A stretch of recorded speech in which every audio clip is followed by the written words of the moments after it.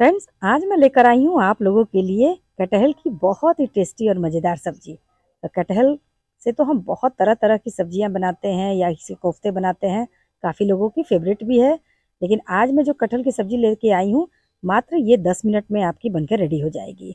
बहुत ही कम समय में और बहुत ही मज़ेदार ये सब्ज़ी बनती है। तो जिनके पास समय की बहुत ही कमी है या फिर बहुत ही बिज़ी लाइफ है तो वो इस तरह की ये सब्ज़ी बनाकर रेडी कर सकते हैं और टेस्टी के साथ साथ आपके समय की भी बहुत ही बचत होगी।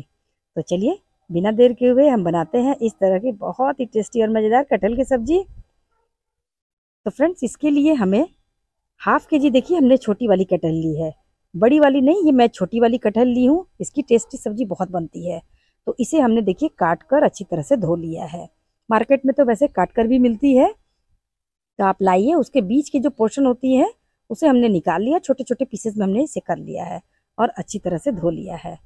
तो चलिए एक बड़ा सा मिक्सिंग बोल लीजिए और उसमें हम इतना बड़ा लीजिए ताकि सारी चीज़ें हम अच्छी तरह से मिला सकें। हम अपनी सारी कटहल को इसमें डाल देंगे।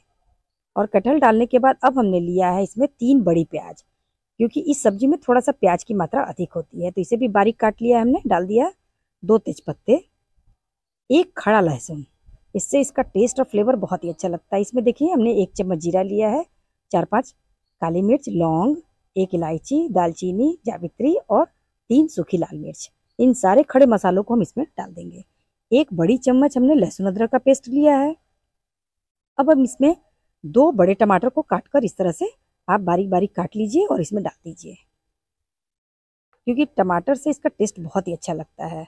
एक चम्मच हम हल्दी पाउडर, एक बड़ी चम्मच धनिया पाउडर, एक बड़ी चम्मच जीरा पाउडर, आधी चम्मच काली मिर्च पाउडर एक बड़ी चम्मच लाल मिर्च पाउडर, तीखा आप अपने टेस्ट के अकॉर्डिंग रख सकते हैं और एक चम्मच मैं इसमें कश्मीरी लाल मिर्च डाल रही हूँ। ये तीखी नहीं होती है कलर के लिए होती है और एक बड़ी चम्मच इसमें हम डालेंगे गरम मसाला। स्वाद अनुसार आप नमक ऐड कीजिए। और फ्रेंड्स इसे बहुत ही क्विक इसलिए बना सकते हैं क्योंकि सारी इंग्रेडिएंट्स जो है, इस तरह से अगर आप डालकर बनाते हैं तो इस सब्ज़ी का टेस्ट कई गुना बढ़ जाता है। और इसमें थ्री टेबल स्पून हम कच्चा सरसों का तेल डालेंगे। इससे तो बहुत ही अच्छी इसकी सब्ज़ी बनती है।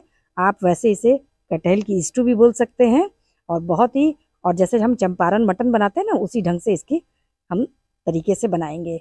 बहुत ही फ्लेवरफुल लगती है और बस अब सारी चीज़ों को आपको अच्छी तरह से मिक्स कर लेनी है।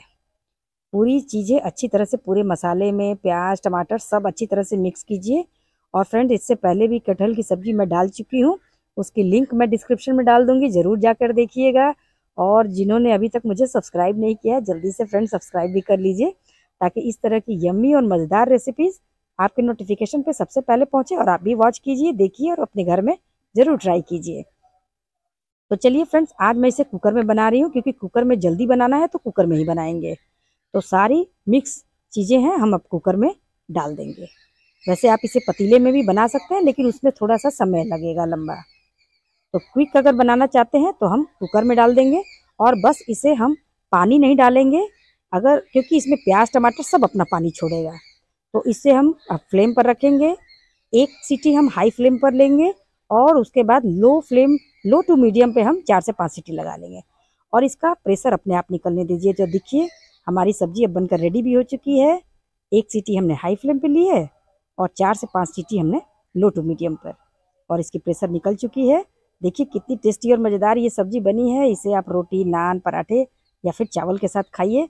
बहुत ही मज़ेदार है। अगर फ्रेंड अच्छी लगी वीडियो तो लाइक और शेयर ज़रूर करिएगा।